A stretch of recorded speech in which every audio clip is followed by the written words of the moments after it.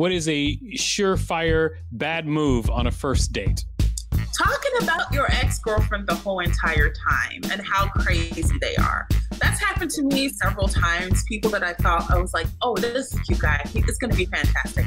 And they talk about their past relationships and I, I can't personally like be like, well, this happened to me because I haven't actually been in a relate a serious relationship.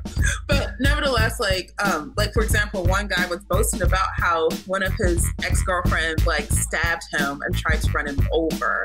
And I'm like, well, my question now is, what did you do to what make her want to stab you and run run you over? Also, you live in New Orleans.